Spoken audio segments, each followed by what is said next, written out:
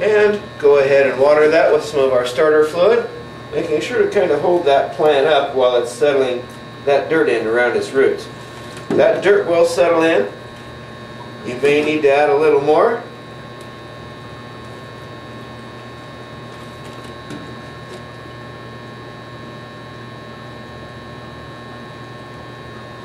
And there we are.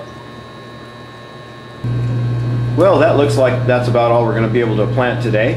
The rest of them will need to sit there for another five to seven days and they will begin getting roots. Before we're done, however, we'll want to stop and cut off all of the dead or yellow leaves in the pan.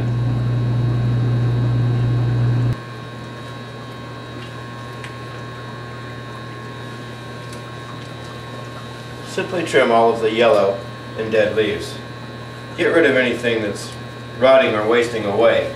It will simply cause mold, mildew, and infestation.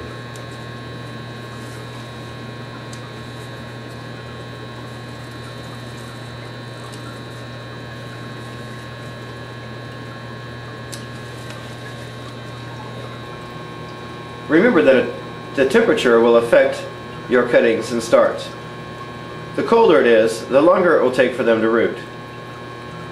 We did this in the winter time, and it took a few extra days. We let the small plants sit in the small buckets for a minimum of at least one week. This will allow them to get used to the dirt.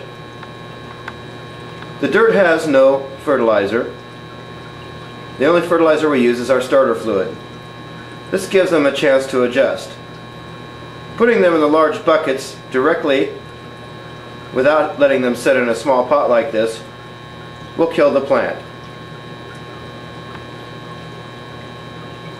In a week, we can plant these into large buckets and let them begin the full growing cycle. The small buckets are also nice because we can store the plants here while we're getting ready to plant. You can leave them in the small buckets for quite a while.